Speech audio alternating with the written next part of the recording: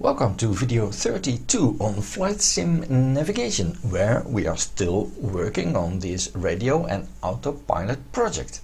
In the previous video we configured this course knob into MobiFlight to change course or OBS on the Steam cockpit and in this video we will do all the other knobs that we need for our autopilot like the heading, of course very important, and the airspeed and over here we have altitude and vertical speed.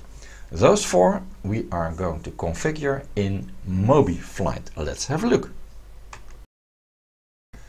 MobiFlight is open. We are connected with the Arduino, which we can see by this green tick mark.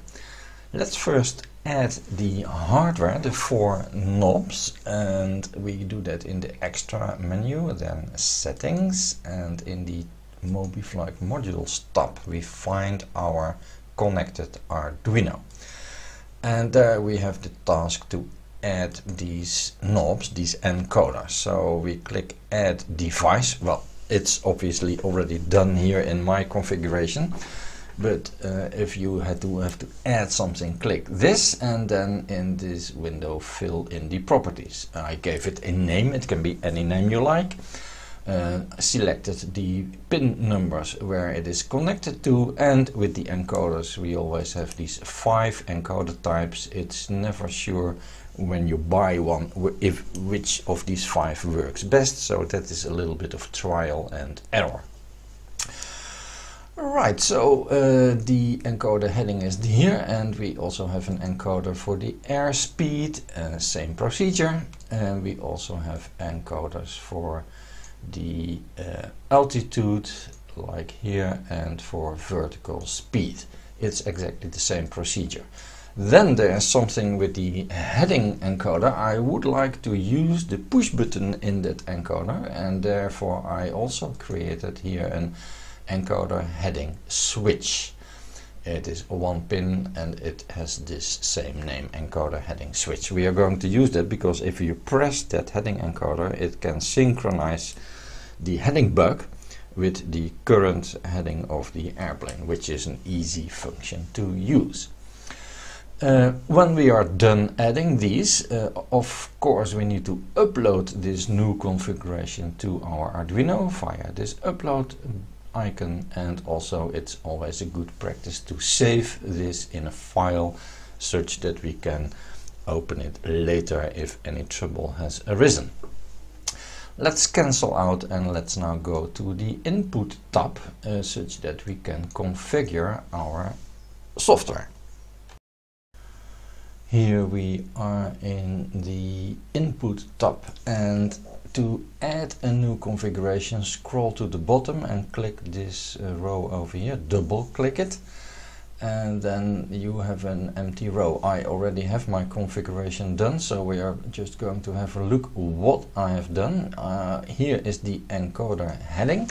Don't forget to activate it of course and then click the edit button in this window we are going to the input tab and there we first select our Arduino and then select the uh, hardware knob that we just configured. So we have our encoder heading over here. Then rotating the knob left what should happen? Well we select an event ID and then from this long list we select heading bug decrement. Well, it's a long list as we can see over here. Uh, the heading bug decrement for turning left and when turning right, uh, click this tab over here, we uh, select heading bug increment. Don't forget to press use in both cases uh, because only then these numbers are filled in. This is it for the heading knob, but we also created this heading switch.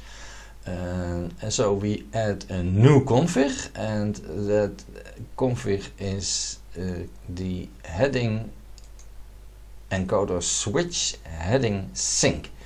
Yeah, it's just a name. Uh, you can give it any name you like uh, I selected this uh, heading switch hardware button of course first and then when I press it The function, again an event ID, the function is heading bug set. And that will take care that if we press the button, the heading bug goes to our current heading, which is a very convenient function to have. Uh, it, it, doesn't work on uh, gauge cockpits, but it works on glass cockpits at least. Right, uh, so far for the heading. Let's go to the next one, which is uh, airspeed. Uh, yeah, I can see it over here, the airspeed. Well, it's all quite straightforward. Uh, again, we select, of course, in this case, our just created airspeed uh, knob uh, encoder turning left, what we need to select is autopilot speed var decrement. var is probably variable. Speed variable decrement. And of course, when we rotate this knob right, it is the autopilot speed variable increment. Don't forget to press the use button.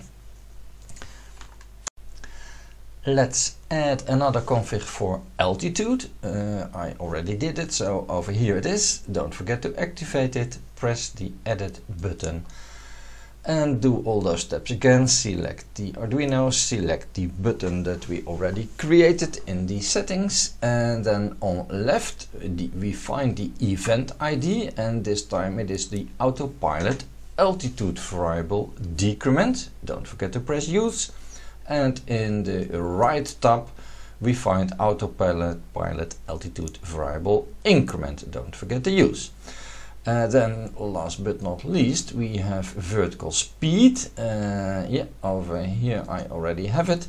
Uh, in the edit tab the things that we uh, select now for left is autopilot vertical speed variable decrement and for the right we have vertical speed variable increment. Don't forget to press use.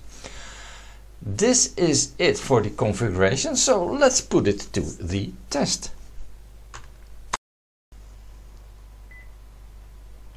We have here our 737 cockpit and we have the autopilot panel and the course button that, that was already fully functional.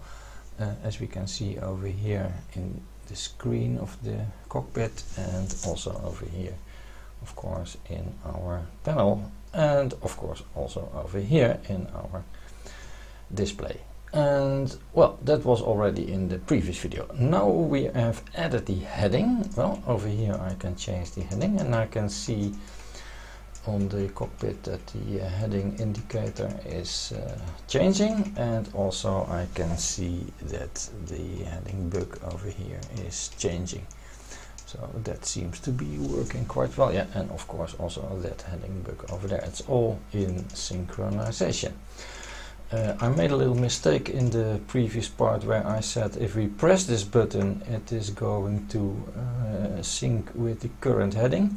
Uh, that is not the case. The, that uh, event is uh, heading bug set and that needs a parameter and I use the parameter 0 which means it jumps to north.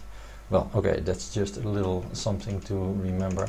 I cannot find uh, the correct event to set the heading bug to our current heading. Uh, that's a little bit a pity, but it's no other than that.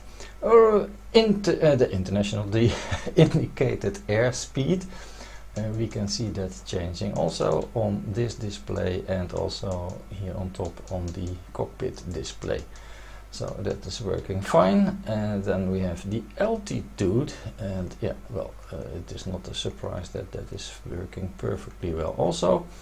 And we see the uh, vertical speed jump to a new value as soon as we changed the altitude. And we can change that vertical speed. And in this case even as a bonus this button is uh, moving while this course button was not moving so that is uh, funny I don't know why that course button does not move, but the vertical speed uh, knob is moving with what we are doing here on our autopilot panel. Well, I, am quite happy. It is uh, all working nice and uh, yeah, we can have a lot of fun with this autopilot. Uh, besides the fact that we have not yet discussed how we get these this seven segment displays operational here on this panel.